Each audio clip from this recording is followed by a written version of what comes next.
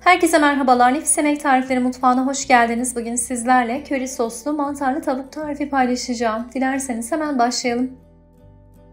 Öncelikle 3 parça tavuk göğsünü küp küp doğrayalım. Kişi sayınıza göre tavuk miktarını kendiniz ayarlayabilirsiniz. Verdiğim ölçülerle hazırladığınızda 3 veya 4 kişi için yeterli gelecektir. Ardından 1 adet soğanı yemeklik doğrayalım.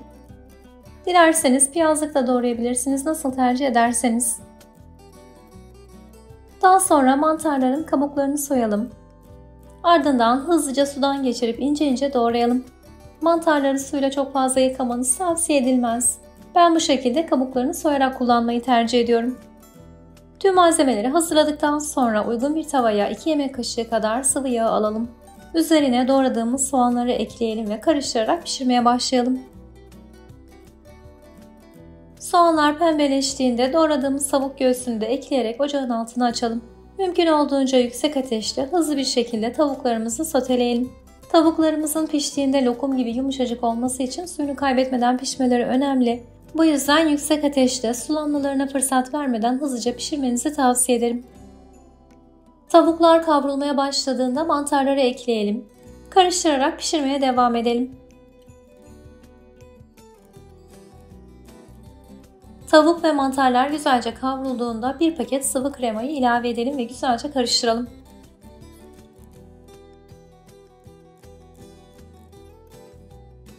Ardından bir tatlı kaşığı köri, yarım çay kaşığı kadar karabiber, bir çay kaşığı dolusu kekik, bir çay kaşığı tuz ve bir yemek kaşığı parmesan peynirini ilave edelim. Parmesan peyniri yoksa kullanmak zorunda değilsiniz. Parmesan olmadan da tarife devam edebilirsiniz. Birkaç dakika daha tavuklar kremayı çekip kıvam alıncaya kadar kısık ateşte pişirmeye devam edelim. Ayrıca eklemek istiyorum eğer iki kişi için yapacaksanız malzeme ölçülerini yarıya indirebilir yarım paket sıvı kremayla da hazırlayabilirsiniz. Eğer bu yemeği bol kremayla seviyorsanız krema miktarını artırabilirsiniz. Son olarak sıvı kremanız yoksa bir su bardağı kadar süte bir tatlı kaşığı nişastayı ekleyip çözdürdükten sonra tavukların üzerine ilave edip yine bu yemeği hazırlayabilirsiniz.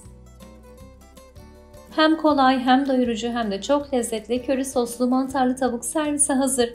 Yanında bulgur veya pirinç pilavı veya makarnayla servis edebilirsiniz. Umarım bu tarifi denersiniz ve sizler de memnun kalırsınız. Yorumlarınızı her zaman bekliyor olacağım. Videoyu vakit ayırıp sonuna kadar izlediğiniz için özellikle teşekkürler.